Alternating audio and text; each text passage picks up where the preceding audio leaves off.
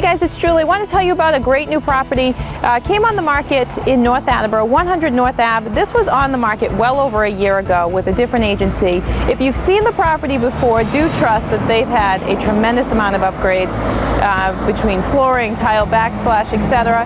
And all that just accentuates the, the master bath, phenomenal backyard. There's a wonderful outbuilding here, which is, you know, I've had people look at it to say, oh, I'd put a little in-law out there, great rec space, has a little kitchenette, garage area. I mean, this outbuilding can really be anything you want, but it doesn't compromise your backyard privacy.